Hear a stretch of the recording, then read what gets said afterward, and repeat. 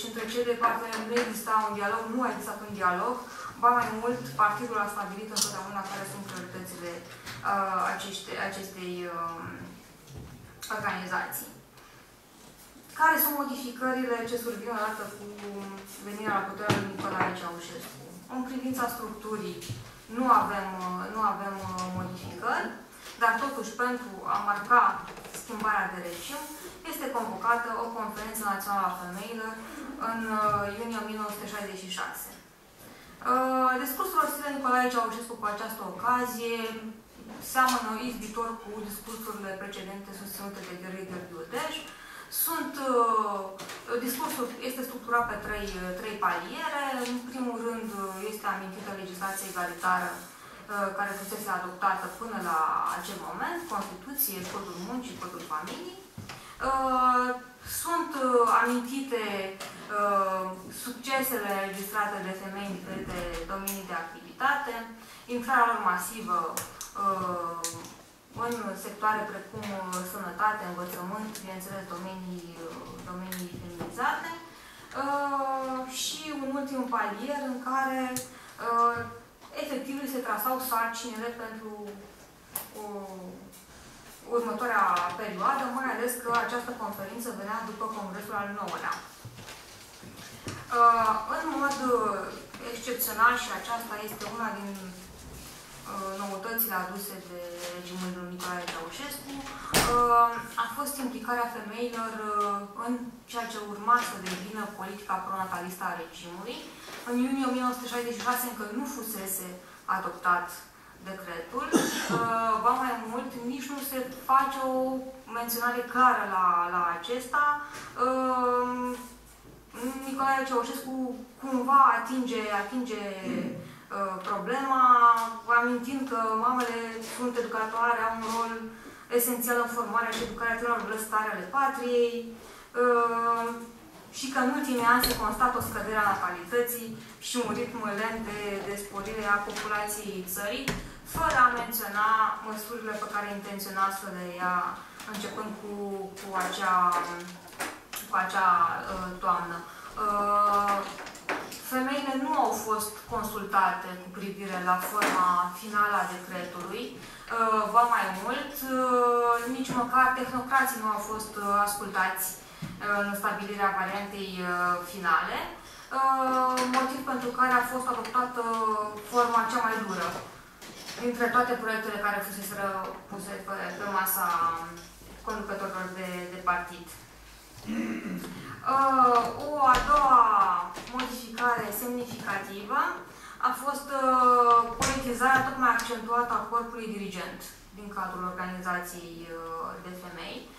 Încă din 1957, la conducerea acestuia s-a aflat Maria Rosetti, personalitate care se încadrează fără îndoială în categoria tovarășilor de drum, dar care nu a fost membră de partid cu acte în regulă niciodată. Uh, la moartea acestea, în 1963, uh, succede Suzana Gâda. Deja avem o, o schimbare de, de perspectivă, uh, însă, pe ansamblu, în conducerea organizației, intră foarte multe membre de partid, de obicei personalități din lumea culturală, științifică, artistică la momentul respectiv. Uh, punctul de coditură este anul 1974, când uh, la conducerea organizației uh, este, um, ajunge Lina, Lina Ciobanu. Cum se întâmplă această, această schimbare? Într-un mod cât se poate de brutal, Miron Constantinescu convoacă o ședință cu femeile din conducerea organizației și le comunică, știți, secretariatul a decis ca din acest moment să schimbăm structura de conducere a organizației, Suzana Gâde va fi înlocuită cu Lina Ciopanu, dispar funcțiile de vicepreședinte și secretare. Ați înțeles? Mulțumesc, bună ziua, am avut, v-am comunicat ce am avut de, de, de, de spus. Uh, nimeni nu a avut uh, la acel moment bineînțeles, nicio, nicio reacție. Uh, ba mai mult, s-a întrunit și un congres care a parafat aceste, aceste schimbări. Motivul, un posibil motiv pentru această schimbare ar fi punerea în aplicare sau măsurile pentru punerea în aplicare a hotărârii plenarii CC din iunie 1973 privind creșterea rolului femeii în societate politică și așa mai departe. Consiliul Național al Femeilor avea un rol foarte important în punerea în aplicare a celor decizii atunci și probabil s-a considerat că o persoană mai apropiată de putere ar fi mai nimerită în, în, într-o funcție de conducere pentru acesta. Uh, patru ani mai târziu, în 1978, se constată că totuși uh, forma de conducere cu o singură președintă, fără a avea uh, în ajutorul ei vicepreședinte sau alte uh, secretare, nu este tocmai cea mai nimerită și nu funcționa uh, la nivelul uh, de, de conducere de partid, uh, drept pentru care se revine la forma cu șase vicepreședinte, secretare și așa mai, uh, mai departe. Cu această ocazie, locul Linei Ciobanu este luat de Ana Mureșan. Schimbarea nu survine pe fondul unei nemulțumiri a partidului față de activitatea Linei Ciobanu. La momentul respectiv, uh, ea se confrunta cu probleme de sănătate foarte grave, uh, fusese spitalizată uh, în două reprize, mai mult de 30 de zile fiecare dată, astfel încât ea renunță la, la această funcție pe motive de stres, după cum reiese din fișa, fișa medicală. Alegerea Anei Mureșan este la fel de dificilă, am putea, am putea spune. Sunt făcute mai multe propuneri în cadrul uh, CEPEX. Pe lângă Ana Mureșan uh, a mai fost propusă Olimpia Tănescu, uh, Olimpia Solomănescu și Maria Bogu. Uh, se optează pentru Ana Mureșan, în ciuda avertismentelor uh, lui uh, Ianuș Fazecaș, care spune că dintre nominalizări este cea mai proastă alegere, lucrând direct cu ea, a constatat că are multiple lipsuri, multe de ele, dintre ele de natură intelectuală. De altfel, singurele critici care au fost aduse au fost aduse Anei Mureșan, dar ea este cea numită în respectiva, în respectiva funcție. Uh, pe lângă, pe lângă această numire, uh, este ales și un birou executiv al Consiliului Național al Femeilor, uh, în care făceau parte doar membre de partid, și nu doar că erau membre de partid, dar ele făceau parte din organele de conducere ale acestuia, ca membre pline sau supleante ale Comitetului Central lucru care nu se, nu se schimbă până în decembrie 1989. Uh, din acest moment, preocuparea Partidului pentru forma de organizare uh, a Consiliului Național al Femeilor uh, scade spre, spre zero, am putea spune. Doar în 1985 Nicolae Ceaușescu mai susține un discurs în fața Uh, în fața membrilor Consiliului uh, cu ocazia năspririi condițiilor decretului 770. Este momentul când se modifică condițiile uh, avortul, de, avortul legal, fiind condiționat de nașterea și îngrijirea a cel puțin 5, 5 copii și cu această ocazie femeile din, din organizația de femei sunt chemate iarăși în sprijinul și ajutorul Uh, partidului. Cea de-a treia și ultimă schimbare pe care vreau să o aduc astăzi în discuție uh, ține de promovarea femeilor. Uh, după venirea la puterea lui Nicolae Ceaușescu, problema promovării femeilor a devenit unul dintre punctele nelipsite din discursul oficial al statului comunist. Comitetul Național al Femeilor a primit sarcina de a lua măsuri concrete în această direcție. Uh, și prima era cea de identificare în fiecare sector de activitate femei susceptibile a ocupa funcții de conducere uh, și eventual promovarea lor pe linie de, de partid și, și de stat.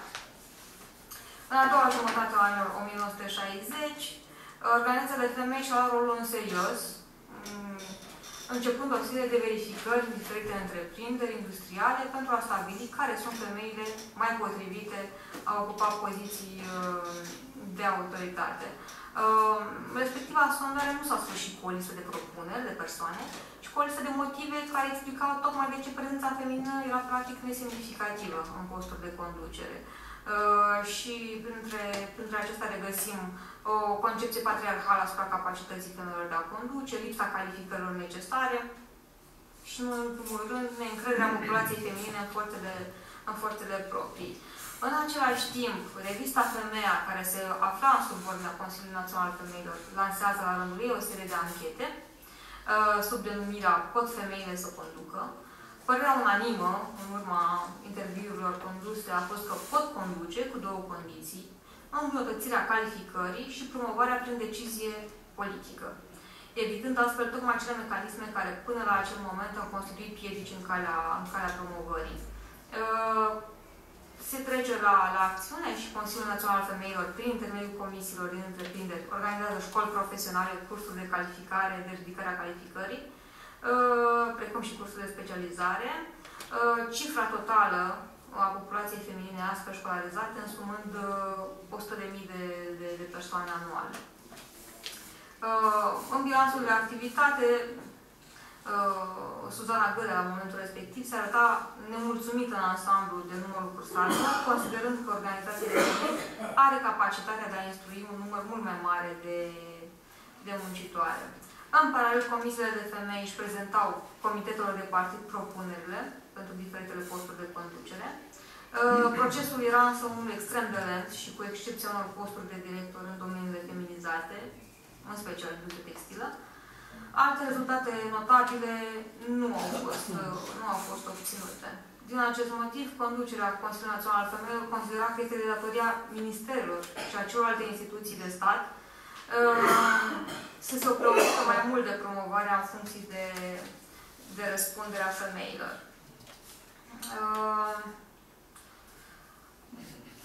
ar, ar putea părea la prima vedere că erau măsuri uh, care au rămas doar pe, doar pe hârtie, nu au fost aplicate niciodată, însă situația nu stă chiar, chiar așa și un, un exemplu un, ar fi uh, numirea membrilor din Consiliul Național Sanitar Superior. Uh, acest Consiliu a fost creat în 1973, pe lângă Ministerul Sănătății, uh, și avea un rol direct în implementarea politicii demografice.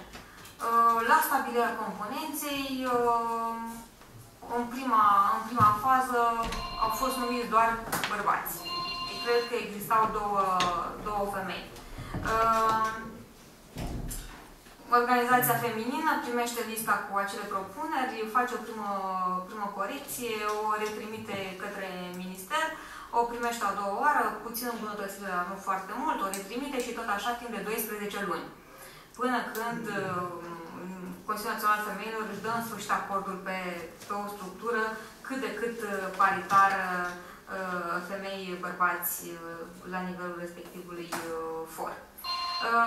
Din păcate, se aplică și cea de-a doua măsură invocată tot de femei și anume un interes mai mare al Ministerului și celelalte instituții de stat în promovarea femeilor, uh, pentru că în 1976 sunt introduse cote de reprezentare, acea cote de 25%.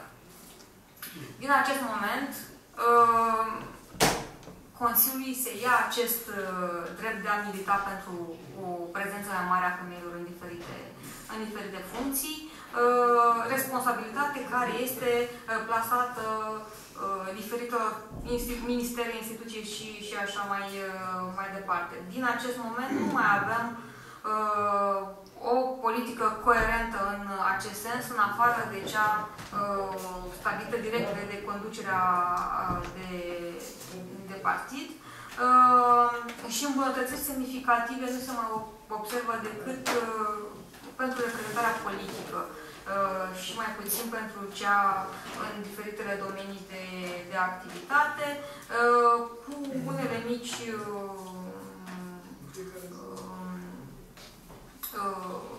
unele mici deosebiri pentru domeniile feminizate, avem femei în funcție de conducere pentru industria textilă alimentară a bunurilor de consum uh, și, bineînțeles, uh, educație și, uh, și sănătate. Anul 1975 este stabilit și sărbătorit ca an al femeii, în cadrul unei decade a femeii, și a fost momentul de apogeu, dar și sfârșitul seriei de articole care luau în discuție problemele reale, în care se confruntau femeile în societatea românească comunistă. Uh, pentru că nu e așa, într-un stat care hotărâse egalitatea în drepturile femeilor cu bărbații, uh, uh, politici, alte politici de promovare în afară de cele ale statului nu-și mai aveau locul. Din, din, acest, din acest moment, activitatea Consiliului Național al Femeilor se va concentra strict pe implementarea politicii nataliste a regimului, și uh, respectarea de către angajatele de femei a diferitor norme uh, de lucru. Uh, cam atât, vă mulțumesc. Mulțumim, doamne Luciana Jinga, despre această interesantă expunere asupra feminismului de partid, să spun așa. În continuare, oferim microfonul domnilor colegi de la CNSAS, doamna Alina Ilinca și domnului Liviu Marius Răjinar, bine cunoscuți, alcătuiesc un tandem de cercetare redutabil. Aveți microfon.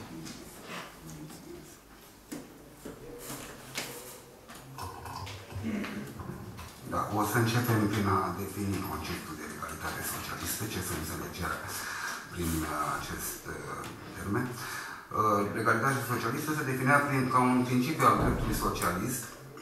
Întreaga activitate economică, socială și politică din societatea socialistă trebuind să fie așezată pe norme legale. Uh, congresul al treilea al PMR, desfășurat în perioada 20-25 iunie 1960, oficializează începutul restrângerii funcției represive a statului nostru democrat popular, dar Nicolae Ceaușescu și-a înscris ca punct principal al programului politic principiul apărării legalității socialiste, care după ce a fost consacrat în Constituția adoptată în 1965, a devenit principiul de bază al întregii activități a organelor de stat, mai ales a celor din justiție, procuratură și Ministerul de Interne, inclusiv uh, securitatea.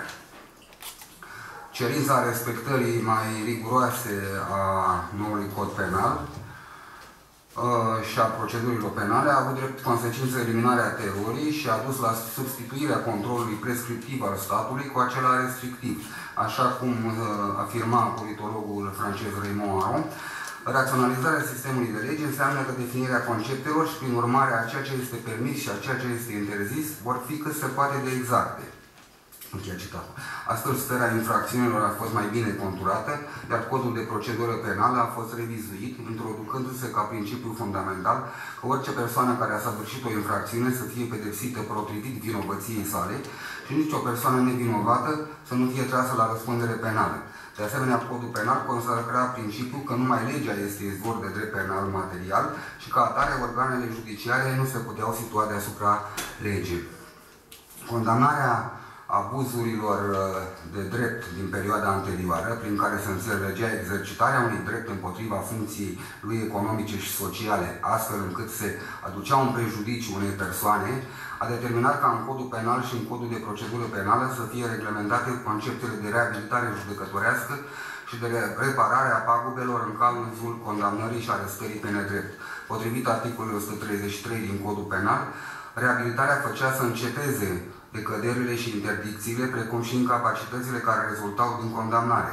Condamnatul nu mai avea antecedente penale, ca urmare dacă săvârșea o nouă infracțiune, era considerat infractor primar, cu toate consecințele legate de această situație. Raționamentul codului penal în privința reabilitării uh, juridice era că aceasta va avea efect pentru viitor, adică din momentul pronunțării ei, nu și pentru trecut. Astfel s-a întâmplat că un fost condamnat nu putea cere reintegrarea în funcția din care a fost scos în urma condamnării ori să fie reîncadrat în armată și să-i se dea uh, să fie să redea gradul militar pierdut. În ceea ce privește repararea pagubelor în cazul condamnării și arestării pe nedrept, articolul 504 din Codul de Procedură Penală prevedea că uh, erorile judiciare care puteau fi invocate în, cazul, în cadrul cererii pentru repararea pagubelor erau un număr de două, și anume A. În caz de condamnare nedreaptă recunoscută ca atare și B. în caz de arestare nedreaptă recunoscută ca atare. Condițiile de obținere a unor reparații materiale în cazul celor două cazuri uh, erau următoarele. Condamnatul uh, să fi fost, condamnarea să fi fost declarată nedreaptă printr-o hotărâre judecătorească definitivă, pronunțată ca urmare a rejudecării cauzei.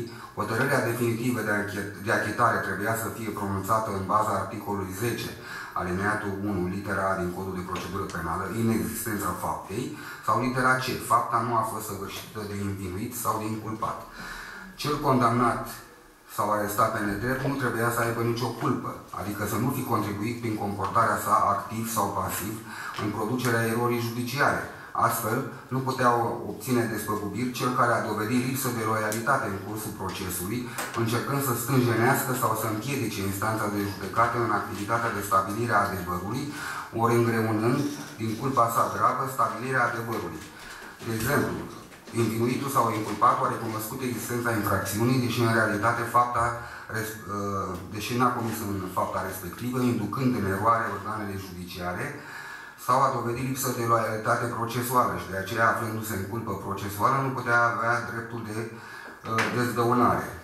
Aceasta, bineînțeles, în cazul în care recunoașterea sa nu a fost determinată de folosirea unor mijloace uh, ilegale. După cum uh, o să vedem, uh, de fapt, acest uh, principiu era greu de demonstrat în fața instanțelor.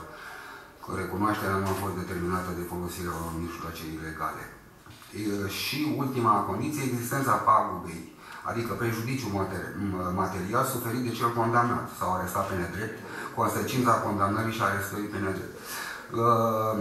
Modul de exercitare, în perioada stalinistă, modul de exercitare a constrângerii sociale era, nu depășea stadiul unei gestionări polițienești a societății. Nicolae Ceaușescu merge pe un alt uh, este adeptul teoriilor care uh, impun o autocenzură populației, o autocenzură atât în, în comportament cât și în exprimare.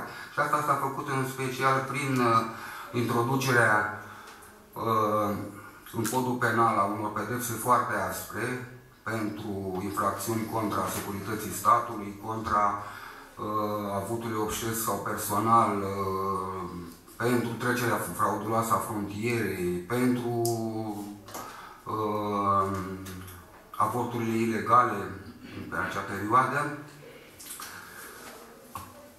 Și o altă, un alt aspect care, pe care regimul a pus accent uh, în privința legalității socialiste și care era o formă de manipulare, de altfel, uh, era participarea maselor populare în înfăptuirea justiției și în creșterea răspunderii ce reveneau colectivelor de oameni ai muncii în educarea prin muncă și pentru muncă a celor ce comiteau abateri de la normele de conviețuire socială.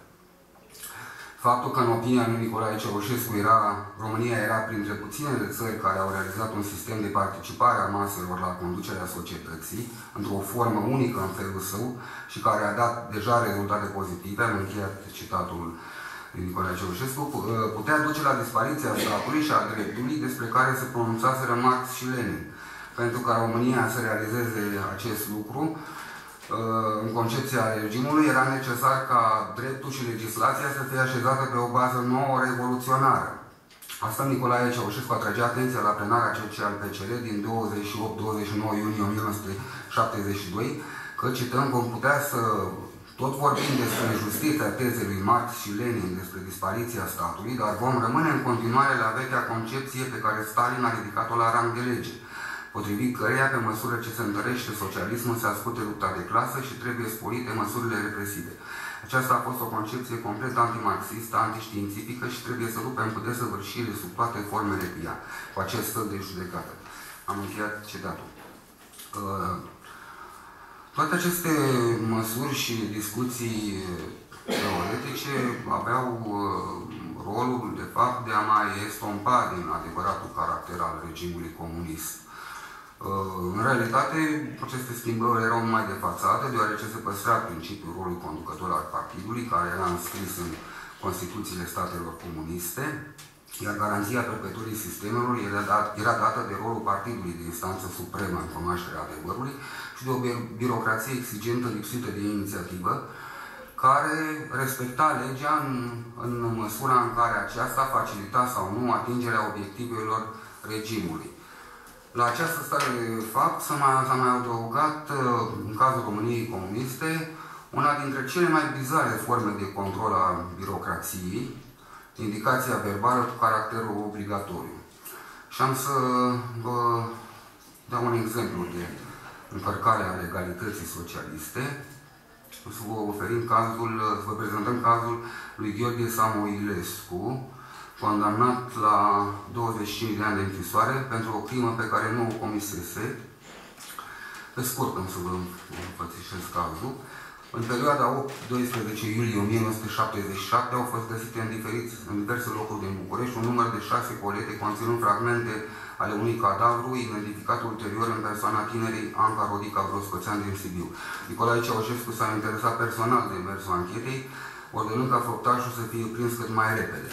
Într-un timp record, la 21 iulie 1977, Gheorghe Samoilescu a fost arestat și ulterior condamnat pentru săvârșirea infracțiunilor de omor deosebit de grav viol, târhărie și profanare de cadavru. Din închisoare, Gheorghe Samoilescu i-a scris tatălui său, neștiind că acesta își pusese capăt zilelor, iar scrisoarea va fi interceptată de către organele de miliție. Am să citesc un scurt fragment din scrisoare. Dragă tată, din, din clipa în care vei primi acest bilet, să nu mai cruzi nici bani, nici timp. Trebuie să ajungi neapărat la tovarășul Nicolae Ceaușescu sau la tovarășa Elena Ceaușescu, să le cază în genunchi, să le spui să intervine, să oprească această mărșăvie și să sălpească această bandă de coroși. Ce fac ăștia este de neimaginat. Au falsificat probe, au șantajat și influențat martori. Pur și simplu râd în fața mea și îmi spun în bătaie de joc că sunt prea puternici și că niciodată nu pot să-i înving. Și că astfel mă vor împușca și adevărul și că de altfel mă vor împușca și că adevărul va muri odată cu mine. Tată, roagă-te, roagă pe șefii statului să intervină să se facă dreptate. Cer o comisie de anchetă din partea CCL PCL. Fii foarte prudent să nu simtă banda asta de ticăloși că vrei să-i demași. Am încheiat citatul. În, în cele din urmă scrisoarea a ajuns la Nicolae Ceaușescu, care a dispus înființarea unei comisii formată din ministrul de interne George Comoștean, ministrul justiției Ioan Ceterchi și procurorul general al RSR Nicolae Popovici, pentru cercetarea împrejurării arestării și condamnării abuzive a lui Samuelescu, mai ales că la 27 noiembrie 1980 fusese prins adevăratul criminal în persoana unui bolnav psihic. De altfel, ăsta era și profilul, cel care trebuiau căutat, practic, adevăratul criminal, de nu bolnavilor psihici. Uh, la 23 ianuarie 1981 s-a dispus suspendarea executării pedepsei privind pe Gheorghe Samoilescu și punerea sa în libertate, iar Comisia a mai hotărât, citez, obligarea în, în solidar la repararea pagubelor materiale, despre care ne-am referit mai înainte, suferite de Samoilescu Gheorghe și a soției acestuia pe perioada cât a fost în detenție, a generalului major în rezervă Buza Valeriu, generalului major în rezervă Chiriac Nicolae, colonelului Angelescu Ion și a procurorilor Dimitriu Florin și Mirescu Dan, restituirea din funcția de șef al Institutului de Criminalistică al Inspectoratului General al Miliției al colonelului Angelescu Ion, îndepărtarea din cadrele procuraturii a procurorilor Dimitriu Florin și Mirescu Dan, restituirea din funcția judecătorilor Stoia Constanța și Petulescu Octavian, luarea de măsuri disciplinare împotriva ofițerilor de miliție care au executat ordine pătite ilegale, prelucrarea acestui aspect acestui caz cu cadrele din Ministerul Justiției și Procuratura Generală, precum și cu ofițerii din Inspectoratul General al Miliției. Cazul uh, Gheorghe Samuilescu, al erorii judiciare pentru unii și a infracțiunii pentru alții, după cum îl caracteriza colonelul uh, criminalist Dumitru Ceacanica, este un exemplu faptul că între promisiunile făcute de Nicolae Ceaușescu privind respectarea legalității socialiste și realitatea erau un drum destul de mare. Altfel, în 1989 apărea la editura politică o culegere de texte a, din opera președintelui Nicolae Ceaușescu, intitulată Egalitatea socialistă, uh, factor de dinamism social. În realitate, în acea, la acea dată, legalitatea socialistă nu mai era un factor de dinamism social, ci un factor de favoritism și de corupție, lucru care ieșea și mai mult în evidență atunci când uh, vine noua conducere de la Kremlin, Mihail Gorbaciov, și care se pronunță pentru, citez, ocrotirea drepturilor cetățenilor de orice abuzuri din partea puterii și a reprezentanților ei. În concluzie, putem afirma că deși ambele regimuri politice și cele democrat-occidentale și cele comuniste au avut la bază trei principii.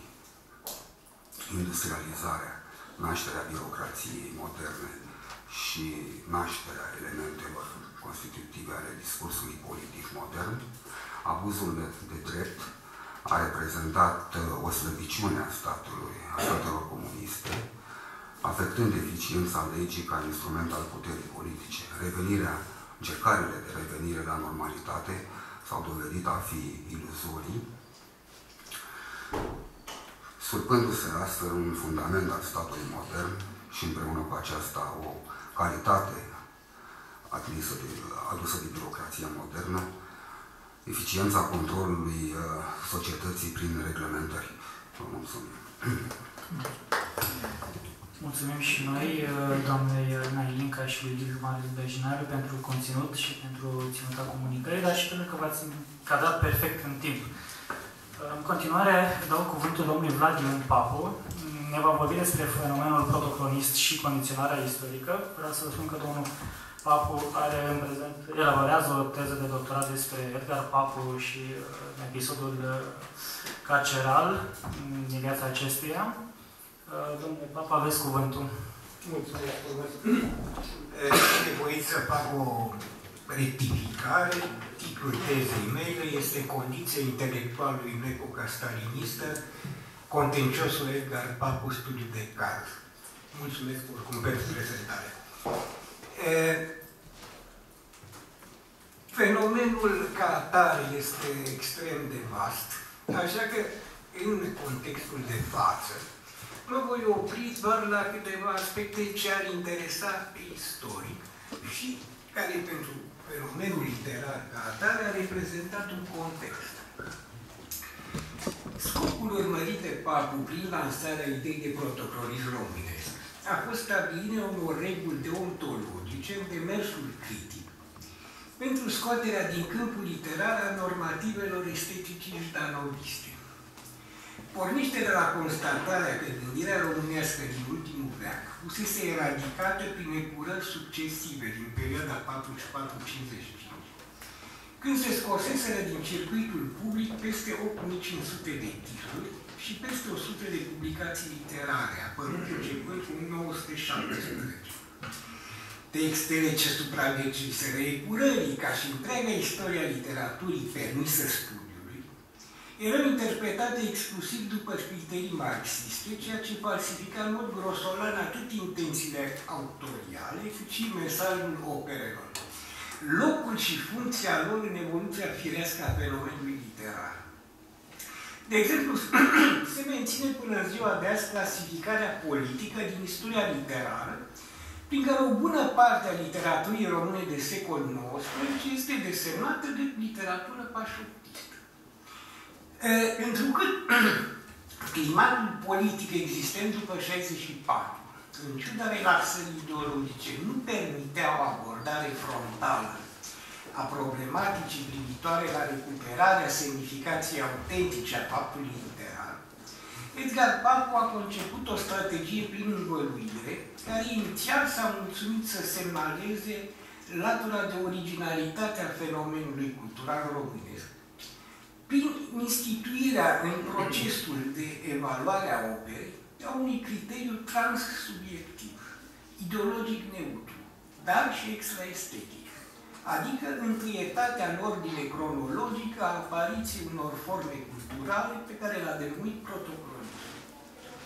Evident că intrarea în spațiu public a unor principii paideice care puneau sub semnul întrebării întreaga interpretare marxistă și predau pentru un climat de toleranță, chiar libertate culturală, justificând necesitatea unei viziuni alternative care să permită reinstaurarea matricii stilistice și a orientării teleologice originale a spiritualității românești, nu ar fi fost posibilă fără existența unui nou curs politic, unui ceea ce, ce considera etapa dictaturii proletariatului de fază istorică revolută. În prima sa intervenție publicistică post-carcerală, care se numește Realismul și Purismul Critic, în gazeta literară din 4 februarie 65, apărută la șapte luni după ieșirea din închisoare, Papu atrage atenția că realismul, se referea de fapt la realismul socialist, fără să-l numească, nu este capabil să exploreze decât o zonă limitată a realității, numită de el evidențialism, demonstrând inconsistența normei estetice. Citez. Dacă rotina de realism, susține el, se identifică cu aceea de unică valabilitate artistică, termenul devine inutil, putând fi înlocuit cu acela de valoare. Nu orice creație de artă valabilă este realistă, dar orice creație valabilă își asumă categoric obligația de a fi reală, adică de a-și extrage substanța din domeniul realității. Rezultă de aici că realismul cu metoda sa se aplică numai asupra unui sector al acestei realități, și anume realității evidente pentru toți, fiindcă există altele mai îndepărtate, mai obscure, mai indirecte sau în stare doar demonstrabilă, care cer metode separate. Asta e comparat de pildă cu interpretarea realismului din interviul acordat de Eugen Ionescu televiziunii române din 66 interviuri, în care spune realitatea nu este realistă. Realismul este doar o convenție literară. Sursele realismului, postulatul cartezian al ideilor clare și distincte și metode experimentale și empirică a lui Locke, părăsesc, susține esteticianul, cuprinderea totalității și sezizează fenomenele izolate. Realismul vizat de Papu era tocmai realismul socialist, concept cheie teoretizările și darloviste. Potrivit ideologiei sovietice, acesta ar fi rezultat din sinteza două atitudini. Romantismul revoluționar și realismul critic. Acest termen heteroclit de romantism revoluționar provenea din tradiția anarhistă, mișcare protestatoare de factură romantică, adică naivă din perspectivă leninistă, care își închipuia că schimbarea de curs politic sau abolirea unui regim se pot obține prin violență, mai precis prin asasinarea liderului contestat.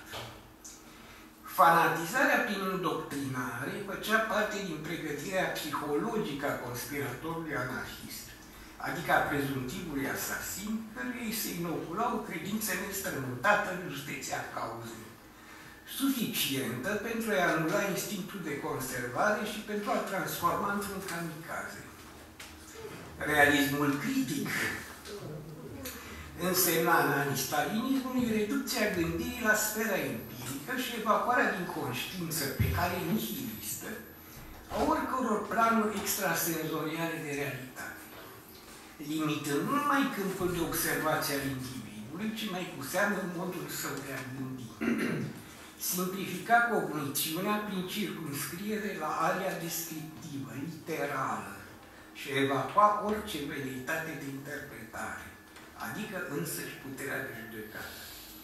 Singura valoare de adevăr era adecvarea mecanică la ideologia în care realitatea nu mai este un dat, ci este prescrisă. Termenul de critic nu are un caracter de selectivitate, ci este un eufemism pentru ură, reflex al manicheismului. Potențialul subversiv al viziunii alternative propuse de Papu este imens, deși la prima vedere pare șters. Posterior intervenției sale, piesa de bază a Jdanovismului, realismul socialist, supraviețuiește în viața culturală, dar nu mai găsește puterea să convingă.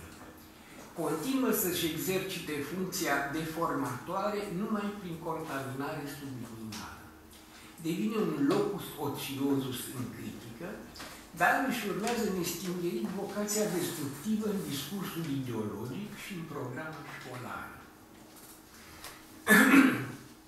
în continuare am, am prezentat câteva intervenții ale sale pentru reglementarea câmpului interpretării critice și am să mă refer în continuare la un eseu al lui din 74, care se numește Tipul creativ românesc în context universal, publicat în volumul Alta și Umanul, unde reelaborează conceptele de act stilistic și de indicator teleologic al spiritualității noastre. În viziunea românească, arta explică el, pe baza sincretismului natură-cultură, arta, departe de a fi altceva decât natura, devine chiar esența structurii naturale. Când i-a atins acesteia esența, el, românul, adică a realizat arta. În punctul de convergență între cele două registre, omul și-a putut împlini viziunea estetică. Omul merge mai departe în trânsa până la ipoteza ideală înspre care ea tinde, adică stilizare în sensul voit de materialul din care este confecționată opera. De aici derivă și caracterul profund organic pe care Blaga îl atribuie tipului de creație românească, în citat. Papu concepe arta la român ca pe un adjuvant ontic, un catalizator al revelării numelui ființei prin reducția stilizatoare la arhetipul comun atât artistului cât și operei sale. Organicitatea viziunii estetice a artistului român ar vădi actul cultural drept o formă de completitudine la legile naturii. După el, oralitatea ar păstra în vocabular, de pildă necuvintele, reminiscențe ale stadiului prelingvistic, adică încă preuman al în eseul menționat, comparabil ca amplitudine și vibrație afectivă cu poemul Ridică-te, Gheorghe, Ridică-te, Ioana, de Vir, de Radu Vir, reconfirmă pe cale vitalistă amprenta inefabilă a matricii stilistice concepute de Blaga. Coeficientul de particularitate pe care l-ar vădi capacitatea mioritică de căsnire este construit conceptual de papu pe terenul ecuației natură-cultură, prin analogie cu o constantă organică, statornicită de biologul Hans Bisch. Cercetătorul german constatase, citez, două sisteme identice sub aspect fizico-chimic se pot comporta în mod diferit, chiar dacă sunt supuse acelorași condiții, în cazul că sunt sisteme vii. Închei citat. Reacția lor atipică față de mediu a fost pusă de Driș pe seama intelihiei, adică a intervenției misteriosului suflu vital.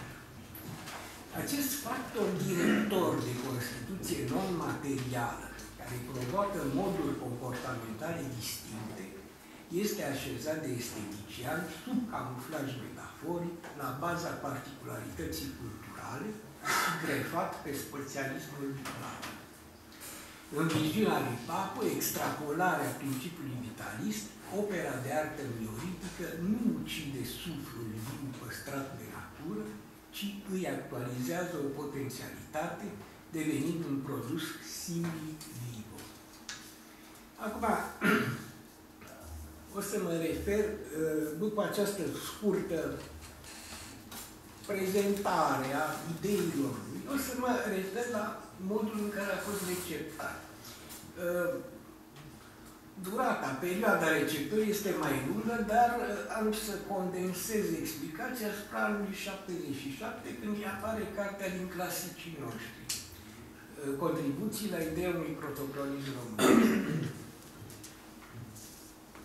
Remenorarea principalelor repere ale anului 77, la nivel public, național și internațional, cât și particular al subversivului PAP, reprezintă nu numai contextul, ci și în același timp rețeaua de suprascrieri care în percepția comună au fost atribuite sau care s-au amalgamat cu inițiativa sa alternând, ă, alterând-o circunstanțial. Amintesc că, că mișcarea ă, Carta 77 la 6 ianuarie 77 încep să fie mediatizate aceste lucruri de cutremurul de la 4 martie, care determină regimul să adopte măsuri de austeritate, care în unele cazuri ă, legiferau curbe de sacrificiu salarial, de pildă în cazul industriei miniere, unde se vor înregistra revolte. Sunt o, o mulțime de alte uh, lucruri de menționat. Ce vreau să subliniez însă, că în analiza fenomenului protocronism nu a fost luat în calcul factorul restrictiv de natură geopolitică, cu ample implicații în modelarea conjuncturii interne. Cercetarea istoriografică și valorificarea arhivelor secției externe a Comitetului Central dezvăluie noi fațete ale ă, stadiului în care se afla contenciosul româno-sovietic în cursul anului 77 devin de pildă explicite semnificațiile întâlnirii Ceaușescu-Brejnev, ce avusese loc la 5 august 77 în Crimea, la doar două zile după năbușirea revoltei minerilor din Valea Jiului. Eveniment omis cu totul de pe agenda convorbirilor. Și aici citez, liderul sovietic s-a arătat contrariat de faptul că asemenea afirmații nedorite, și aici comentez eu, ce țineau de repunerea în circulație a unor adevăruri istorice aflate în coliziune cu miturile fondatoare ale stalinismului de ocupație, percepute de sovietici ca derapaje ideologice, și continui citatul. Deci apăreau aceste afirmații, nu numai în periodice, în cercurile de istorici, în publicații de specialitate, dar și în manuale și cărți destinate tineretului, putând duce la apariția unor sentimente naționaliste în rândul acestuia. Închei citatul. Dacă în 77, la sugestia lui Ponomaru, citatul este scos din cartea domnului Buga, pe nu de cuțit, relațiile româno-sovietice 65-89.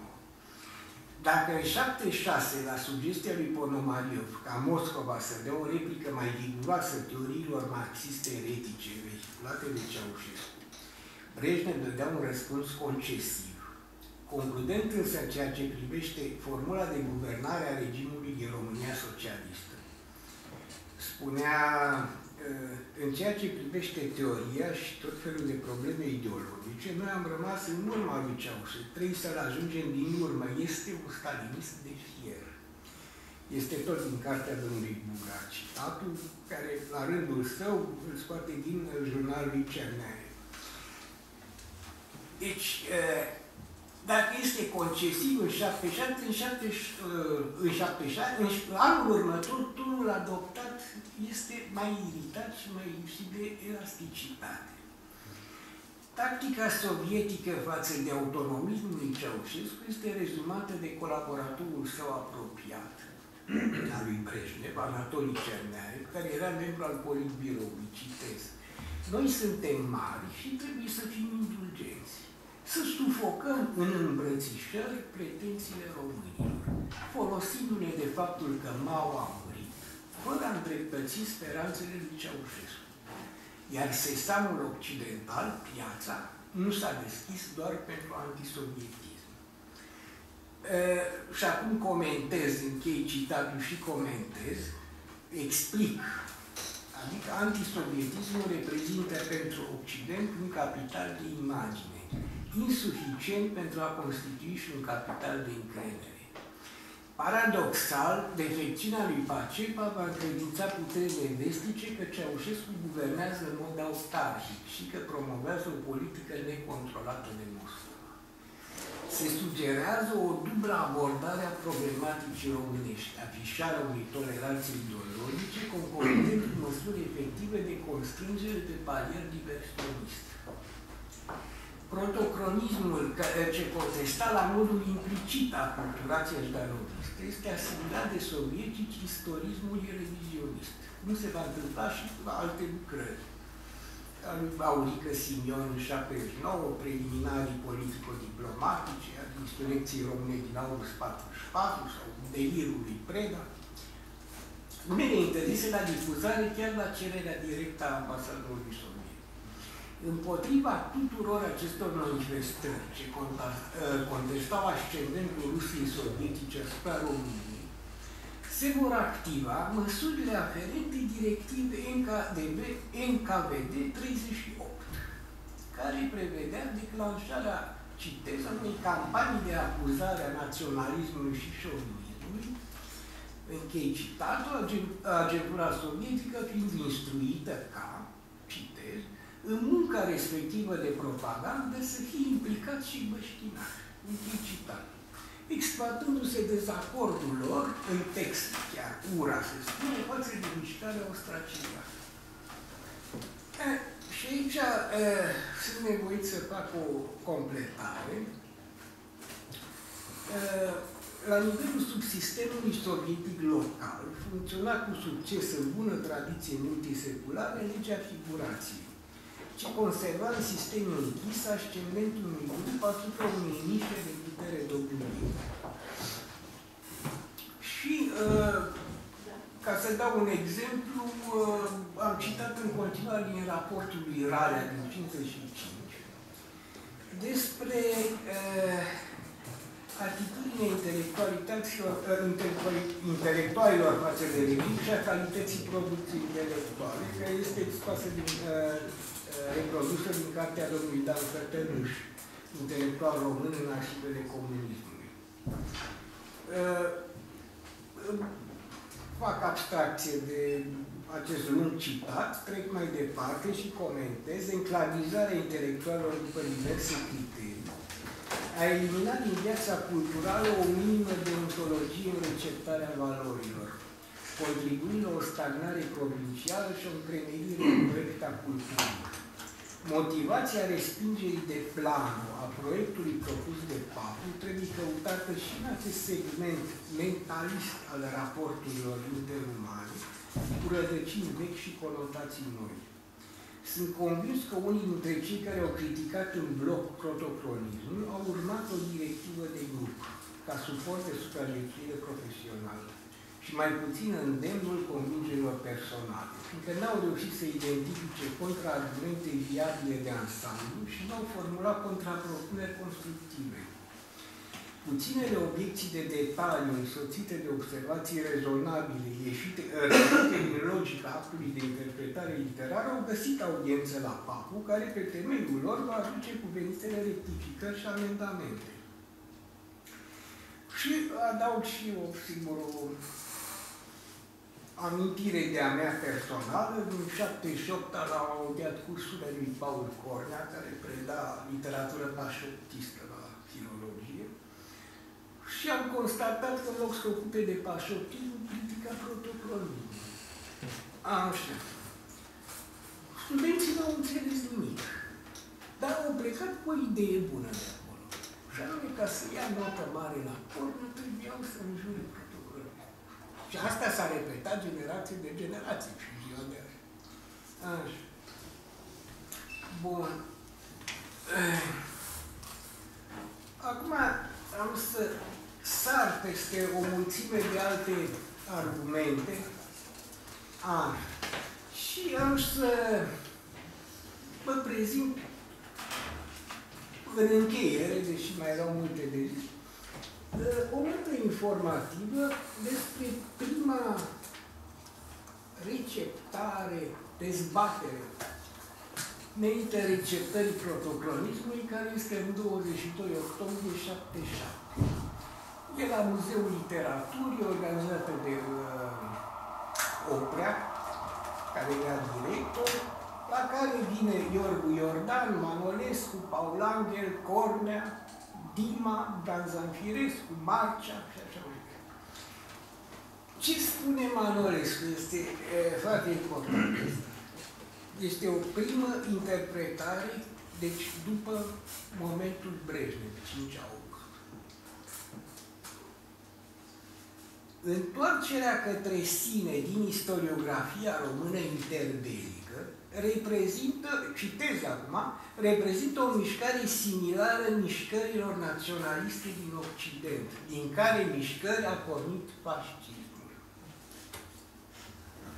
Iordan a aprobat opinia lui Manolescu printr-o intervenție în cadrul căreia a citat cazul mișcării fasciste din Franța. Manolescu, ă, încheia cu cine? Manolescu n-a mai repetat ă, lucrurile astea. În schimb, Iordan insistă asupra lor și într-un articol din 79 aduce noi ă, lămuriri. Spune așa, se teme ca cercetările lui Papu să nu ajungă la cunoștința unui public mai larg. Și citesc direct, majoritatea celor care au luat cuvântul atunci la dezbaterea din 22 octombrie 77, au combătut punctul de vedere al lui acum prezent cel la dezbatere. Unii au respins ideea în sine, arătând că ceea ce contează nu este întâietatea, ci originalitatea. Completarea asta o făcuse papul pe 8 octombrie 77, deci înainte de dezbatere. Așa și originalitatea unei idei și a lucrărilor cărora le servește drept bază. Spune în continuare, eu aș prefera termenul valoare, fiindcă originalitatea este o noțiune cam labilă. Alții s-au referit la cauzele care au determinat apariția ideii de protocronie, referindu-se la exagerări, oprindu-se și la efectele negative. Cei mai puțini au fost cei care au luat apărarea lui Papu, în general prin afirmații și declarații entuziaste. Am folosit în discuția de până acum două cuvinte foarte serioase în legătură cu tema acestei expuneri. Dăunătoare și primejdie.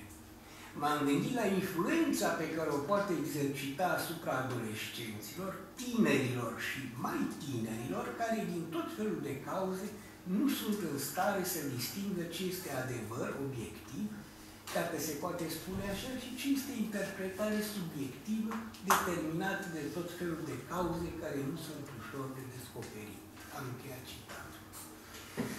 Interpretarea politizată a protocoliei venite atât din partea lui Manolescu cât și a lui Iordan este tributară șabloanelor așa zis progresiste care puneau întregul proiect identitar românesc din cultura interbelică pe seama eșafotajului ideologic național-socialist și care schematizaseră întreaga mișcare politică de dreapta pentru a o forța să încape în canoanele regionale. Motivația lor era firește diferită. Mă opresc aici, timpul a expirat, deși mai erau multe de zis. Mulțumesc! Avem și o secțiune de dezbateri și de întrebări și poate acolo o să ne aduceți precizări teoretice despre protocolism. În continuare, mai se și la ultima comunicare, așa că o să rugăm pe domnul Radu Petrescu Mușcel să ne vorbească despre asimetrii registru ceaușiste Nicolae Vasescu, Colorado, americanul executat la canal. Domnul Petrescu, vă rog. De fapt, lucrarea trebuie să se... Veniți, vă rog, aici, ca să vă și vadă, vă și filmeze și... Vă și imprimă... Să avem tot actul.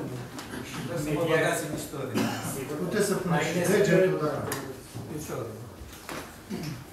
De fapt, lucrarea, am vrut să o intitulez Vieți furate, îi se spunea americanul. Dar pentru a mă putea încadra mai bine în temă, am re am remodificat acestea. În actul de acuzare al primului lot de la canal, găsim niște expresii dure. Ticăloși, odioși, lepădături ale societății, netremnici, cozi de topor ale serviciilor de spionaj imperialiste, americane și engleze și tituliste. De regulă, prin procesele de tip stalinist, înțelegem în mare trei categorii.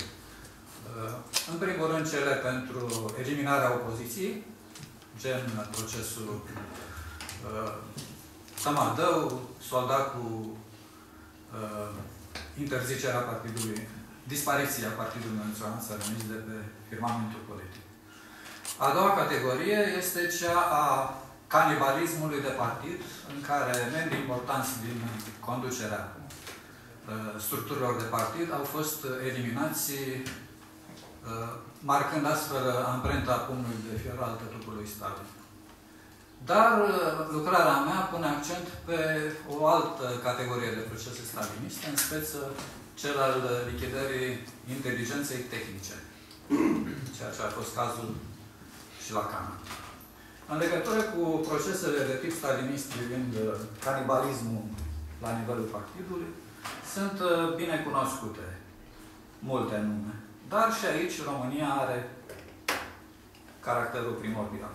Am reușit ca în 48, în martie 48, să devansăm toate țările prin arestarea lui uh, Lucrețiu Pătrășcanu. În același timp, stalinistul de fier, așa cum spunea Brejnev despre Ceaușescu, reușește o altă performanță. România e ultima țară care își reabilitează astfel de conducători, uh, Lucrețiu Pătrășcanu fiind reabilitat practic ultimul, la nivelul lunii mai 1968.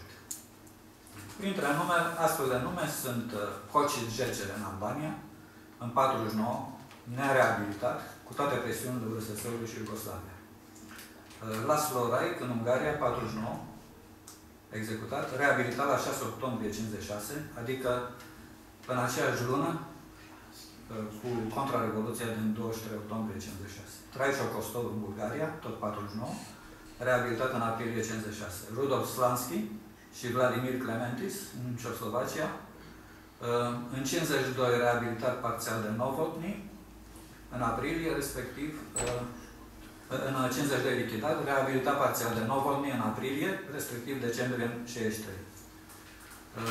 Lucrețiu Pătrășcanu, am uh, spus despre el, executat, arestat în martie 48, dar executat abia la 17 aprilie 54, adică după moartea lui Stalin.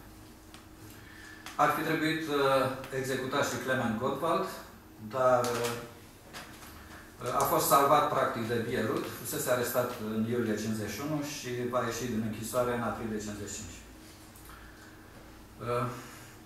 Uh, în cadrul primului lot de ingineri și muncitori de la canalul Dunăre Marea Neagră au fost condamnate 5 persoane, care conțineau 5, 10 uh, persoane, au fost condamnate 5 la moarte, din care 3 executate, iar ceilalți la pedese grele. În orice caz, România este singura țară care reușește să se încadreze în aceeași tipologie a procesului de tip stalinist, de care am scăpat foarte greu, prin altul, ce o să dat cu executarea soților Nicolae și Elena Ceaușescu, în ziua de Crăciun anului 89, culmea pentru, alături de crima de genocid, subminarea economiei naționale, adică aceeași crimă pentru care au fost condamnați cei de la Canal. Istoricul lucrărilor de canal e bine cunoscut. S-a început în mai 49 la sugestia lui Stalin, interesat printre altele inclusiv de posibilitatea uh, construirii unei baze de submarine. O bază secretă. Uh, ziarul de la canal, purta acest nume, Canalul Dunăre Marea Neagră, uh, pe prima pagină avea menționat uh, un citat din discursul Anei Paucăr, cu puțin înaintea uh, zilei de 23 august 49, în care spunea limpede, construim fără burghezie și împotriva burgheziei. E o rozincă pe care Petre Dumitriu, autorul cărții Drum fără pulbere, a găsit-o și a introdus-o în cartea sa. Era o rozincă scrisă pe o pancartă albă cu litere roșu. Ca un titlu de curiozitate, cartea lui Dumitriu are exact 666 de pagini. Adică exact cât are și varianta electronică a raportului Tismanan. Nu numai Petre Dumitriu și-a format mâna acolo la canal, ci și corespondentul scântei, Sergiu Farcășan, viitor scriitor SF, retras în Israel. Echipa de conducere de la canal, o știm cine a fost, director general cu rang de ministru era Gheorghe Hosu, muncitor agricol, urmat în scurt timp, deci asta a fost 49-51, în 51-52 a fost inginerul Maier Grumber, era un asistent universitar la Politehnică, Iar în 52-53, adică strict în perioada procesului, de Vasile Posteucă, spion sovietic Misha Povstanski, infiltrat la 23 august în comandamentul gardă al formațiunilor de luptă patriotice. În timp ce grupul de experți sovietici era condus de inginerul Becin. Ca forță de muncă s-a recurs la trei surse. Personal civil de profesii și categorii sociale, diferite, recrutate din întreaga țară, militari în termen, constructori și servicii de pauză, și deținuți, atât de drept comun, cât în special deținuți politici, condamnați sau cu pedepse administrative. În noiembrie 52, adică imediat după procesul de la Canal, se ajunsese deja ca deținuții politici să dețină o pondere de 80%. Adică, conform principiului marxist, după nevoie. Așa arată declarația din 16 martie 68 a colonelului Ilie Bădil, directorul unităților de muncă în perioada 50-53. Arestările se făceau după nevoile canalului și nu după vina anumitor elemente dușmanoase. Pentru că lucrările avansau extraordinar de greu, cu costuri enorme, cu multe pierderi de vieți, până la urmă, conducerea de partid a înțeles că șansele de a finaliza proiectul sunt mici. N-a îndrăznit însă să ia o decizie. Până nu s-a produs miracol. La 5 martie 63 a încetat din viață tătul cu Stalin. Din respect, au lăsat să treacă 3 luni, iar la 18 iulie 53 a fost înmormântat și proiectul, decretându-se încetarea lucrărilor pentru HCMS 3. A trebuit ca și uh, Gheorghiu de să părăsească această lume pentru ca delfinul său Ceaușescu să le reia în 76 pe baza altui proiect, finalizându-l la 26 mai 84, fără ajutor sovietic și fără baza secretă de submarin.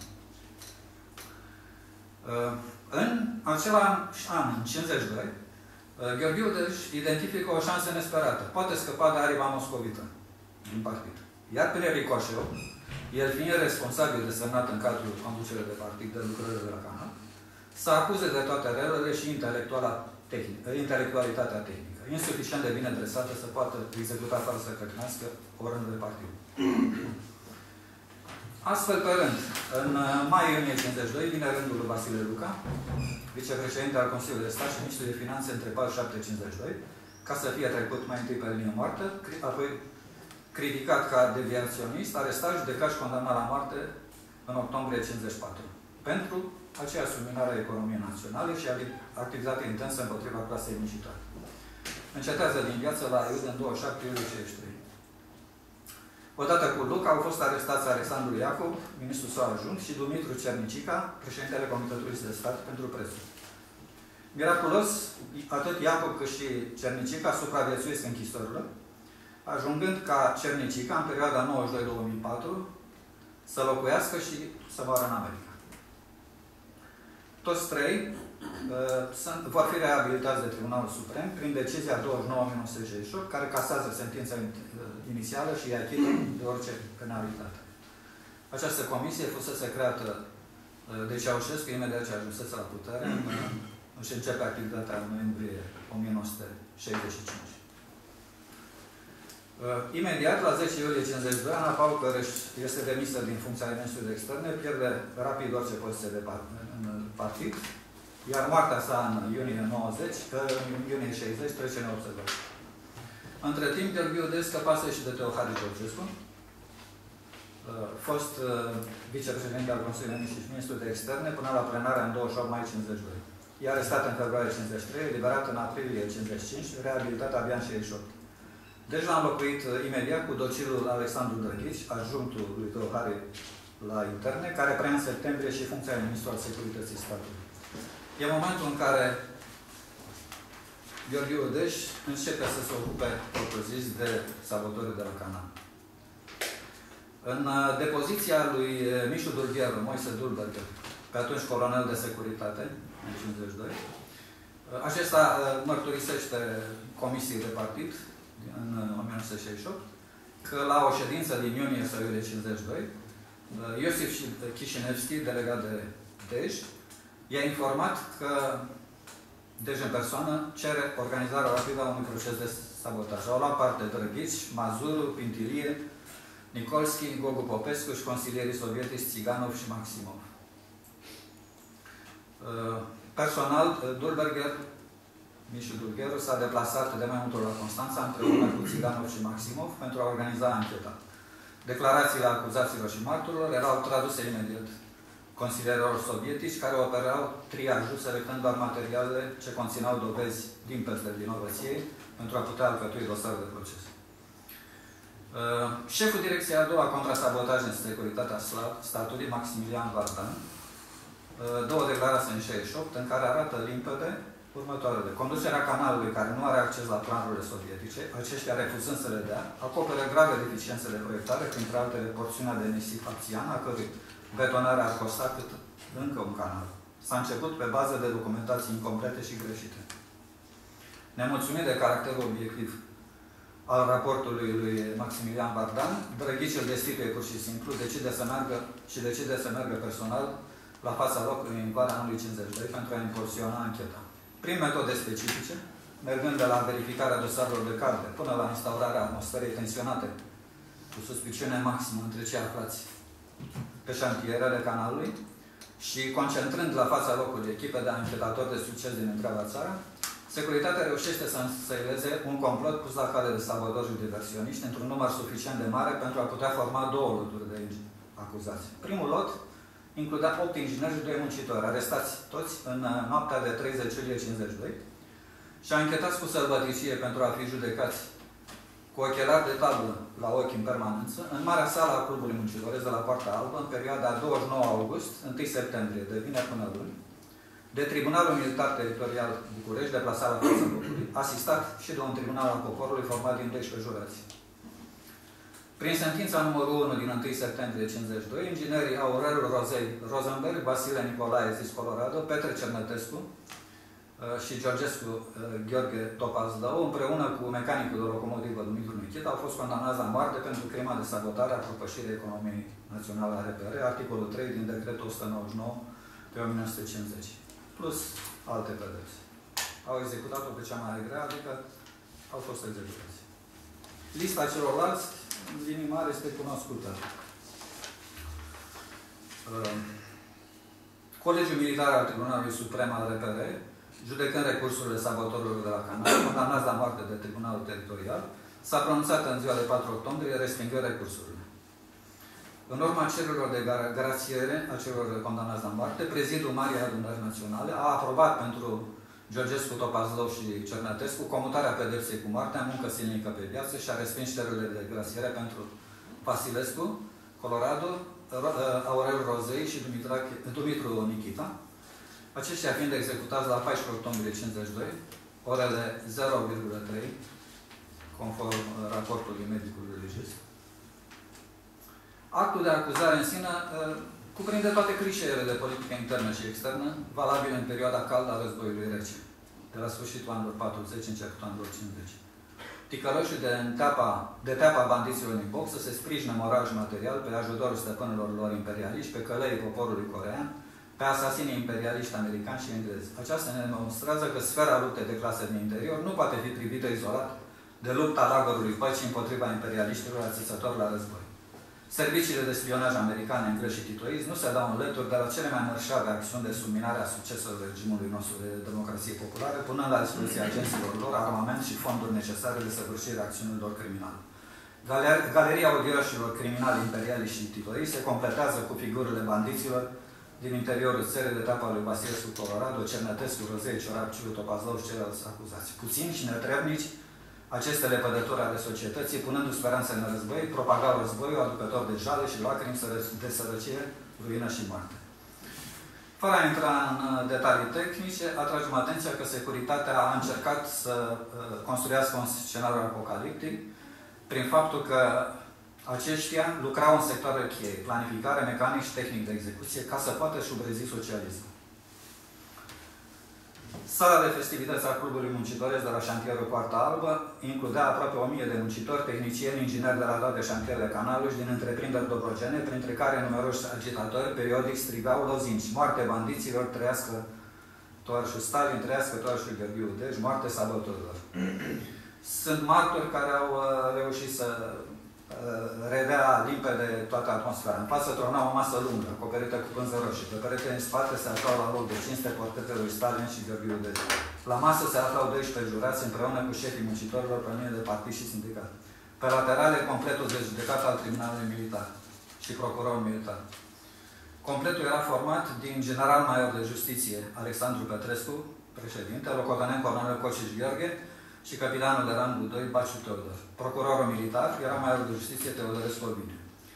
Apărarea fusese numită din oficiu de Colegiul Superior de Avocați, cuprinzând două echipe, una din București, formată din Constantin Paraschivescu Bălăceanu, președintele Colegiului, pentru Aurel Rozei, Pargu Solomon, Nicolae Beldie, Doru Gerson Pavel uh, și Vasile Gheciu. Din Constanța, Dumitru Spână, președintele Colegiului Constanța pentru Nicolae Vasilescu, Colorado, Velizare Sofian, Teodor Butoi, Vlădeanu Zanfir.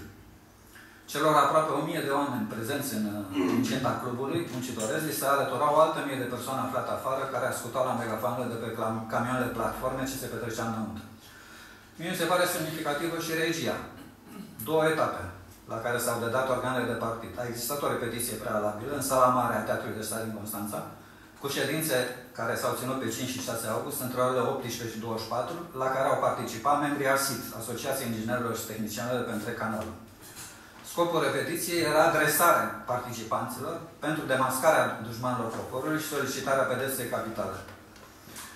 Pentru ca spectacolul să fie de plin, pâine și circ, imediat ce s-a pronunțat sentința, a avut loc mitingul de mulțumire, tribuna fiind aceleași camioane platformă la care au luat cuvântul aceiași vorbitori ca și la repetiția preliminară. I-am identificat, de exemplu, pe muncitorii Stahanovici, Gheorghe și Nicolae Vasu, de la uzinele 23 August și Matias Racosi din București, viitor deputați. Despre doi dintre cei executați avem șansa. Putem ști mai multe decât acest rechizitoriu demn de Kafka și George Orwell. În romanul său, uh, Cazul Nikita Dumitru, încercarea de reconstituire a unui proces stalinist, Doina Jelea reușește să ne facă să înțelegem mai bine viața, celui care a fost un specialist în domeniul său, nu doar un simplu mecanic de locomotivă în sectorul 11 stâncă. Dar și perfidia în mecanismului în care păianjul securității și a țesut cu migală pânza în care a zdrobit destinarea celor 10 oameni nevinovați. Într-o altă carte, Secante Românești, Adrian Irvin Rozei, nepotul Aurel Rozei Rosenberg, ne destăinuie tragedia prin care au trecut doi frași gemeni, Aurel, executat de securitate în procesul măsului de iar celălalt, Ionel, promovat în mod diabolic de aceeași securitate până la emigrarea sa definitivă din țară. Faptul că inginerul Aurel Rozei absolvise în perioada interbelică Ecole Național Superior de Mine din Saint-Étienne, Franța, preferând să revină în țară, dar mai ales activitatea sa în direcția de livrări de pe lângă Comisia Româno-Sovietică însărcinată să trimită rușilor datoria război, au atras atenția ministrului Vasile Luca și a ajuntului său, Alexandru Iacov. Tocmai aceștia, aflați deja în vizorul securității, din Ordinul lui Gheorghiude, sunt cei care însemnează ordinul de transfer la canal. Practic, condamnarea lui la moarte, punându-se în cărcă inclusiv acuzația de sionist. În nota informativă semnată cu numele de cod Marga, datată 30 iulie 50, se afirmă că Rozea ar fi spus Noi suntem din altă lume și orice facem regimului se pare că noi suntem contra. Spre deosebire de Aurel Rozei, Vasilescu Colorado, fiind conștient că va muri, își exprimă față de Adrian Marino în perioada în care amândoi se aflau în închisoarea de tranzit Jilava, gândul că nu va apuca vremuri mai bune. Nu-mi pare rău că mor, dar îmi pare rău că mor și nu mai apucă american venit. Uh, din nefericire, până în prezent, lui Nicolae Vasilescu Colorado n-a avut șansa, acesta n-a avut șansa ca cineva să-i dedice o carte. Născut la 27 februarie 1910 la Câmpul Mușcel, fiul lui Teodor, Teodor și Smarandi, termină liceul din Nicu în 27 și intră la Politehnica din București ca student bursier. Politicianul țărănesc Ion Mihalache, originar din uh, Mușcel, îi acordă spre necesar pentru a putea ajunge în America, unde studiază între 1934 și 37, absolvind prestigioasa Colorado School of Mines. Acolo are și posibilitatea de a lucra în cadrul normal concerne multinaționale producătoare de echipamente miniere, cum ar fi Caterpillar. Blond, înalt, chipe și stilat, este mult apreciat de colegii veniți la studiu din întreaga lume. Printre activitățile școlare, extrașcolare în care s-a remarcat, figurau tenisul de câmp și corul. În 38 revine în țară, fiind angajat imediat la Societatea Mica pentru minele aurifere din perimetrul Gura Barza Brat, unde a adus multe îmbunătățiri pentru protecția muncii minerilor. Asigurarea mesei calde la cantină, dușuri, îmbrăcăminte de lucru, căști de protecție, fiind foarte iubit de muncitori. În 49 a fost transferat la București, apoi la Baia Mare și Baia Scrie. E autorul mai multor invenții, recuperare în nisipuri aurifere, răcitor pinguin la uzină Maraxa, etc. Timp de votament față de Mihalache, devine membru al PNC-ului, fără a deveni un militant politic. În 45, Nicolae Malaxa la angajează consilier tehnic pentru reconversia la producția de pace a fabricii de muniție de artilerie Toha. În 46 îl secundează pe Mihalache în uh, convorbirile acestuia cu ziaristul Mark Esrich, trimisul special al președintelui Harry Truman în misiune de sondare în Bulgaria și România. În 47 încearcă să treacă ilegal granița în Iugoslavia, este arestat și condamnat în 48 la 5 ani de închisoare. După 2 ani se promite libertatea cu condiția să lucreze la canal pe post de inginer șef. Între timp se căsătorise cu Maria Clotinda, născută în Ețianu, provenită dintr-o uh, familie renumită ardeleană, în care, căreia s-au remarcat mitropolitul Ioan Mețianu, dar și ofițerul britanic Silviu Mețianu, parașutat în 43 în cazul misiunii de sabotaj SOE cu nume de cod Autonomus, împreună cu locotenent colonel de Chastelain și uh, Iva Porter. Au avut doi copii, un băiat Dan, inginer hidrotehnician și Nicol, farmacist.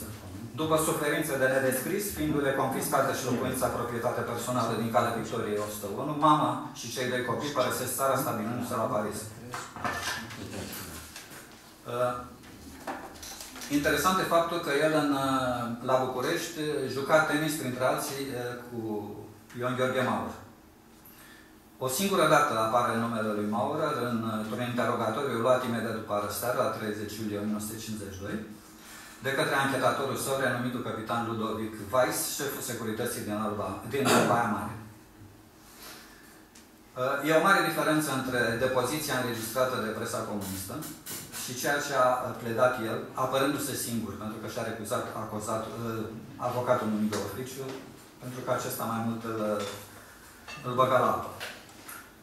În presa apare, ceea ce m-a determinat să duc această acțiune criminală de sabotaj a fost influența direct exercitată asupra mea de ofițeri americani și englezi cu care am fost în strânsă legături. Viața pe care am conceput-o până acum a fost o viață falsă. Am comis acte ticăloase, dar aș vrea să devin societății. În realitate, declarase conform unui martor ocular, doctor Nebula. Sunt român din Banat, interesant, el se născuse totuși la Câmpul Lung, fiu de țăran și membru întemeitor al Partidului Național Țăran. N-am legături cu Iul Maniu și am încercat trecerea frontierei, fapt pentru care am fost condamnat la 5 ani închisoare. Am studiat ca bursier în România, după care am absolvit Universitatea Colorado. Ca român am uh, iubesc țara și doresc ca această construcție să fie terminată. Refuz acuzațiile aduse. Ele sunt bazate pe supoziții greșite și consider acest proces ca mascaradă împotriva inteligenței românești. Universitățile au fost golite pentru că ați închis mii de studenți, ați omorât preoți în tortură, ați omorât personalități culturale și ofițeri care și-au făcut datoria luptând în stepa rusească și munții Tatra împotriva nemților. Ordinele de la Moscova sunt ascultate orbește, v-ați pierdut demnitatea umană. Agitatorii strigă, întrerupeți mărturia. Imediat. Imediat. E ultima Întrerupeți mărturia. Noi, muncitorii, cerem moartea lui Vasilescu Colorado. Un fel de noi muncim, nu gândim. Interesant e modul în care întâlnirile protocolare uh, cu străinii puteau deveni capete de acuzare în timpul războiului rece, utilizate nu numai de securitate și validitate ca atare de procuratoră, dar și de avocații din oficiu temători pentru carieră. În actul de acuzare sunt menționate câteva nume de cunoscuți spioni americani, pe care i-a frecventat Nicolae Vasilescu Colorado, ofițer din cadrul misiunii militare americane, colonelul Mor, e o listă întreagă. Uh, există o lucrare de, o teză de doctorat, Sorin Paraschivae, 2012, despre serviciul informativ american uh, în România, în perioada 1944-48. Am consultat din această listă de vreo 10 nume, uh, în cadrul misiunii au funcționat unul singur, majorul de intendență Lester Bat, șef al secției financiare, fiind contabil public autorizat. În schimb, frapează prezența pe lista în ghilimele, dar nu și în cadrul anexelor organigramă, a majorului Frank Talaro, ofițer care în 43 era încadrat în secția italiană a OSS cu succese personale notabile în operațiunea Husky, debarcarea în Sicilia. Este însă posibil ca acesta să fi vizitat România pe termen scurt în 46, fără să facă parte propriu-zis de misiune, în misiunea militară. Cât despre ceilalți, e posibil ca ei să fi făcut parte din misiunea militară britanică în România. O altă coincidență deloc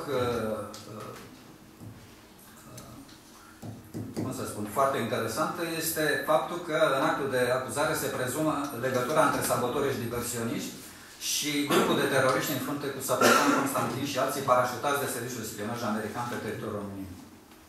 Conform studiilor actuale, Uh, un comandor de aviație refugiat în Italia a convins un grup de patru persoane în frunte cu Satlacan să revină în România după instruirea de americani și francezi pentru a intra în contacte cu eventuale nuclee de rezistență armate locale. În, 5, în noiembrie 51 au fost parașutați de americani în munții Făgăraș.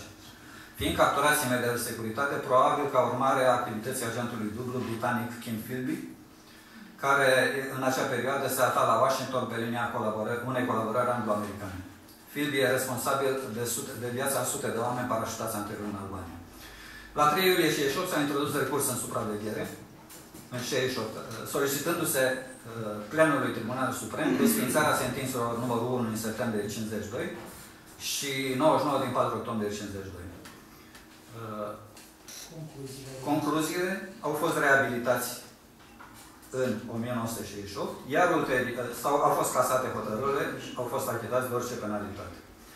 Ulterior, în anii post-decembriști, a urmat o nouă decizie în 20 august 98, fiind reabilitați post-mortem. Ciceron Ioanițoiu consideră că executarea lor și condamnarea celorlalți la muncă silnică a constituit o repostă la condamnarea soților Rosenberg în America în aprilie 51, executați în iunie 53 fusese arestați pentru transmiterea secretorilor bombe atomice către Uniunea Sovietică. Cei executați la noi nu au morminte. Uh, interesant e faptul că certificatul de uh, moarte emis de sfatul popular, cu întârziere de sfatul popular al orașului Constanța, uh, motivează cauza decesului tensiune arterială. Același certificat de, de deces emis pentru Aurel Rozei nu mai menționează nimic. Ce am putea face noi de cei de azi pentru ei?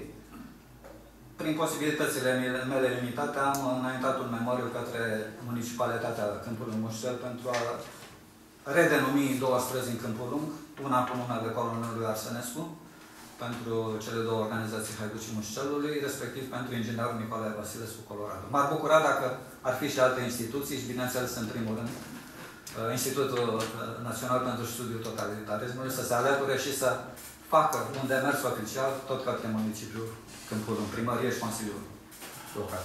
Mulțumesc și scuze că a fost prea lungă expunere. Uh, Trecem la uh, ultima parte de dezbatere. Întrebări? Am dat să dau un Păi, răspuns. sigur, la dezbatere acum. Acum anunțam.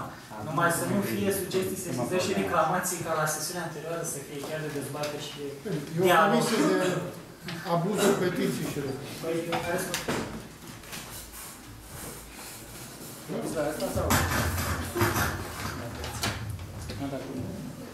Domnul și domnilor, Piezuga, iată piedul ăsta și e nevoie de el.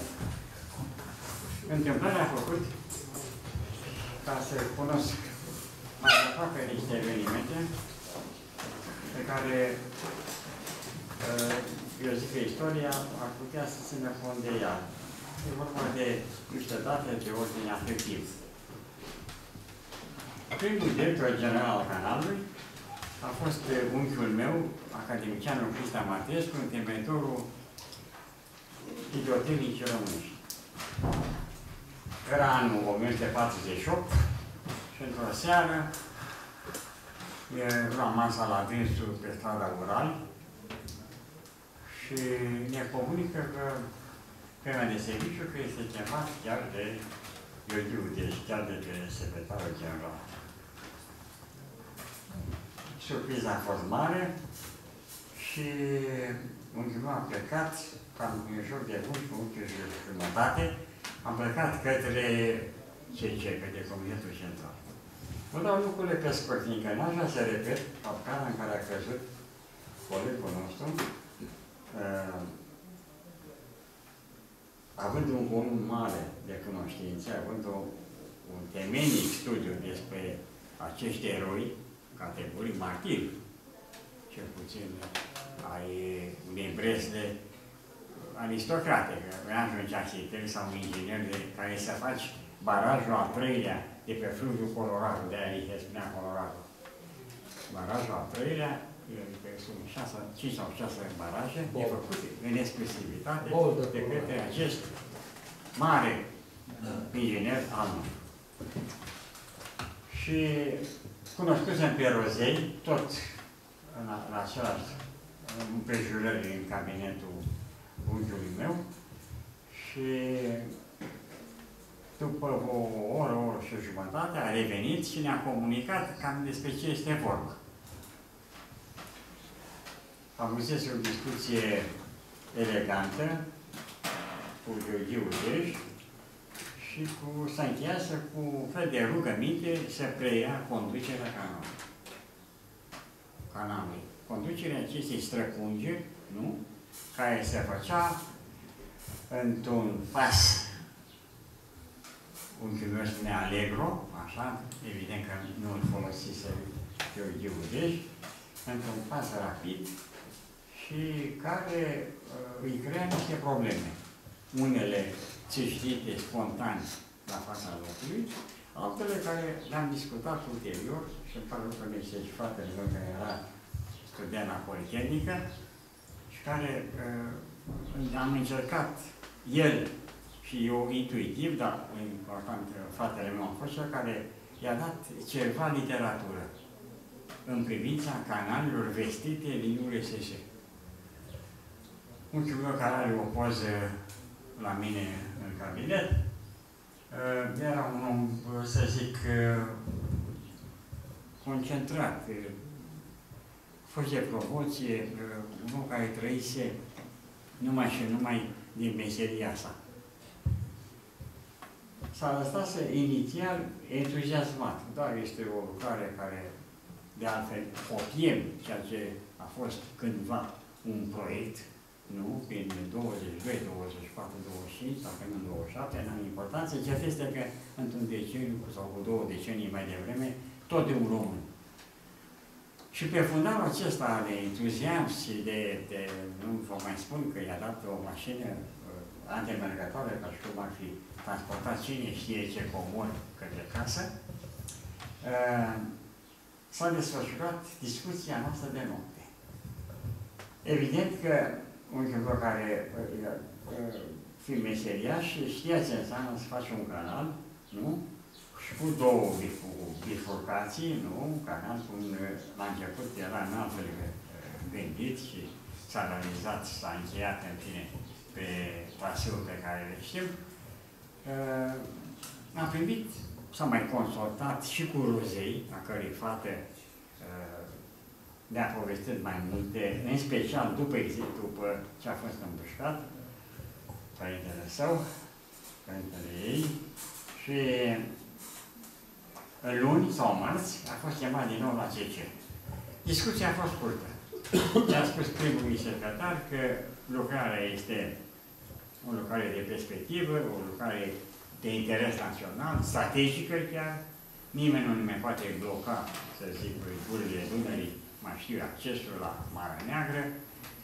Uh, a fost o inițiativă românească și deci s-a arătat foarte, foarte, să zic, satisfăcut că lucrurile merg în, în perimetrul românesc și la sfârșit i-a spus un lucru care l-a întunecat pe, pe acest, nu exagerez cu nimic, când îi spun asasin al integrității românești. I-a spus, domnule, încă niciodată l-am auzit și el nici la Politehnică, era profesor și nu își spunea studenților tovarăși, așa, e foarte, sunt măgulit, ce-o fi adjectiv, ce-o fi găsit, să-i spune, dar eu nu pot să preiau această comandă. Și deci a întrebat, dar de ce? Că veți primi și o nimerise cu unchiul meu, veți nimeri, veți nimeri un salariu special conducător fiind al canalului. Dar asta nu e vorba de, de aici, de o remunerație, ci e vorba de faptul că nu poate fi făcut într-un termen atât de scurt. Și îi spune, permiteți să pun și o întrebare. Care va fi forța de muncă? Cu cine se va face acest canal? Deci, ă, a fost oarecum, ă, să zic așa, mirat și părea stânjenit. Păi avem mijloace tehnice. Unchiul meu care bănuiesc că primise niște sfaturi la începutul săptămânii, s-a informat să existau 52 de pe vremea aceea, să nu se spunea, spunea scarpări în țară de care funcționale nu erau decât cele nemțești, care căzuseră frate, fusese cam o șapte, opt.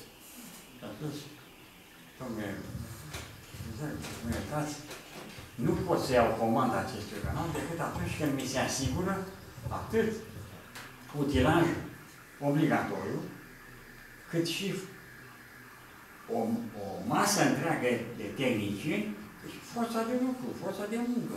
Și a dat câteva exemple. A început cu, cu Panama, nu?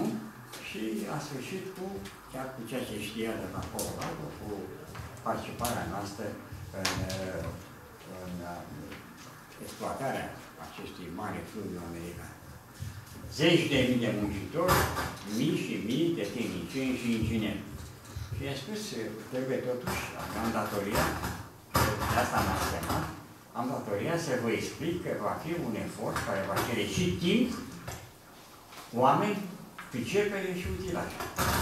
La care eu știu, zice, a zis, ce da, credeți că toate acestea merg așa deodată? Păi tocmai că un astfel, astfel de lucrare cer o contopire, un paralelism. I-a explicat ce înseamnă un canal. S-a explicat ce înseamnă ceea ce a făcut dânsul în România. Scopoasa, a luat la Scopoasa, cu canalul respectiv de vărsare și ce făcuse în țară avusese vreo sau patru de hidrocentrale executate. Gheorghiu deci a apărut, au la masa, masa, bineînțeles, să zic așa, de invitații, uh, și Gheorghiu deci s-a interesat uh, cine este, evident că mi-a spus, e normal că îi luase fișa politică, unchiul meu nu făcuse de politică, și le-a spus, totuși să încercăm. Domnule secretar, este o lucrare în care vor, dacă nu suntem pregătiți, vor pieri oameni, evident că n-am spus ce fel de oameni, nu? Și îmi permit ca, sunt, ca om care nu sunt de membru de partid, nu sunt, n-am făcut politică în viața mea, veți putea fi compromis dumneavoastră. Adică eșecul unui canal, care va fi cel mai mare în elaborarea sa din Europa, va trage după sine comentarii care nu vor fi pricios.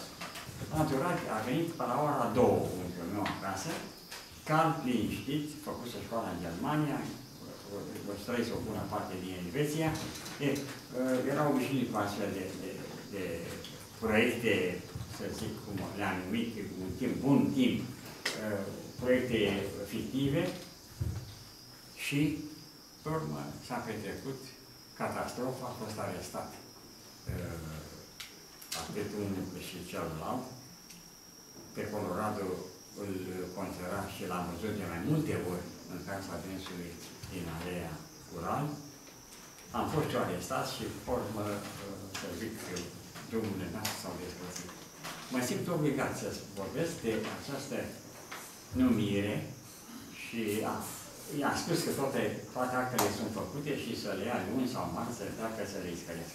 De această numire făcută unui om de meserie și care a fost refuzată prin ce se numește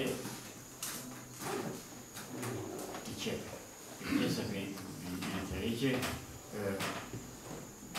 să cunoști o meserie și să știi, să mai faci o legătură în ce măsură un canal putea să fie o sursă, cum s-a și dovedit, au trecut 19.000 de deținuți politici.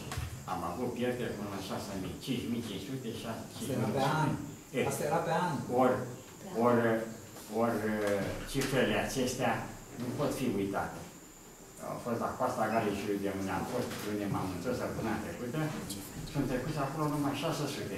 Ori dovezile pe care le avem noi, de la diferite formații și, și uh, registre de amintiri umane, ar fi cam în jur de 900-1000 de oameni au trăit în zona, în zona pe Ucrava, în zona Valea Morții și așa mai departe.